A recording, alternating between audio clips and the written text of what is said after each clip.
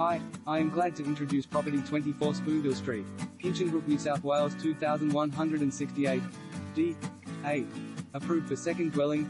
Set in a peaceful street on a 606 metres square block on the high side of the street, with approved plans to build second dwelling, or subdivide into two lots S, T, C, A.